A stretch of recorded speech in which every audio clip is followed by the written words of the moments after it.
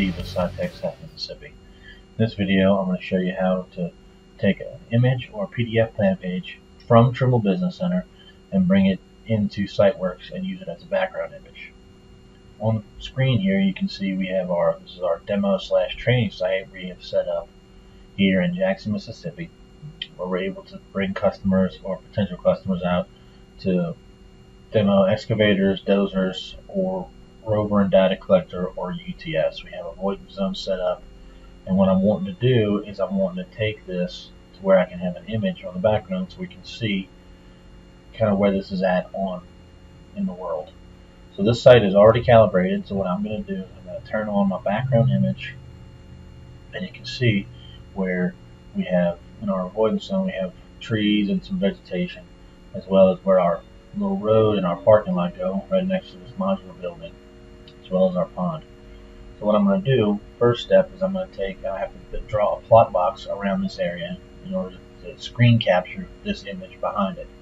So what I'm going to do is I'm going to press F12 and I'm going to type in create plot box.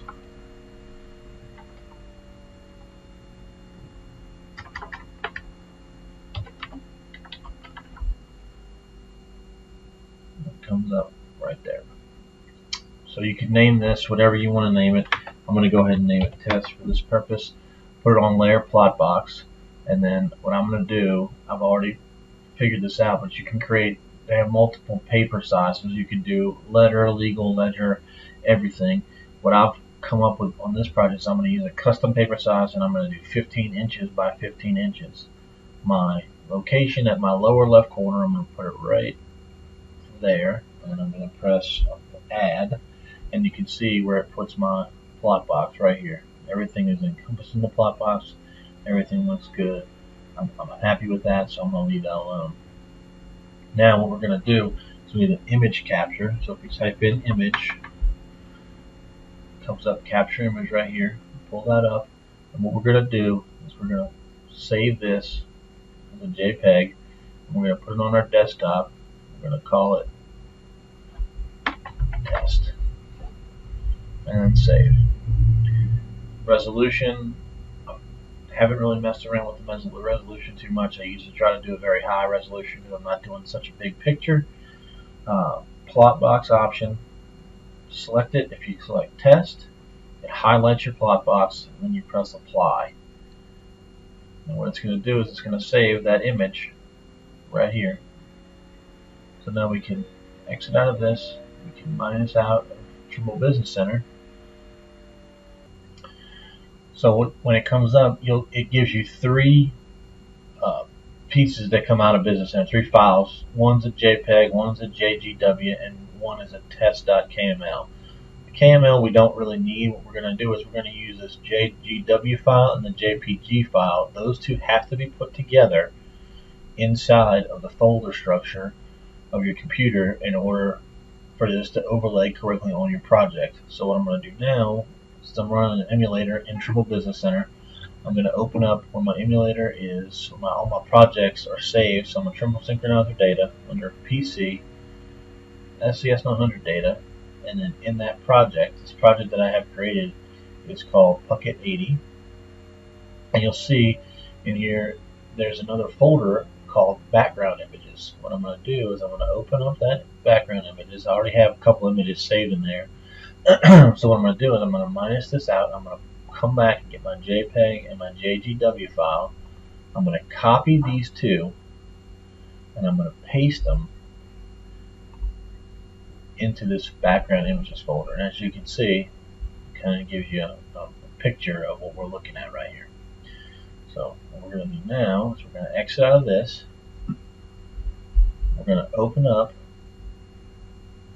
uh, SiteWorks our emulator. Alright, now that we have SiteWorks open, what we're going to do is we're going to go ahead and open up our, our project that we're working on, which is Puckett 80. We're going to use Finish Design, Work Order, and Finish Design. design. So we'll open that up, and it's going to tell you that there's a avoidance zone been loaded, which you'll be able to see in just a second. There's my avoidance zone. Now you can see I have my line work on here. It's the same line work that I had in Business Center. And what we're going to do to load our image, since our image was already placed in our background images folder, we're going to go to settings, we're going to go to images, and you can see it's not checked for display background image. We're going to check that. And our background image we're going to use is test. This is the one we just created. Its image transparency is 60%. 60% is fine. You can play with that, adjust that. You can use it as you want to.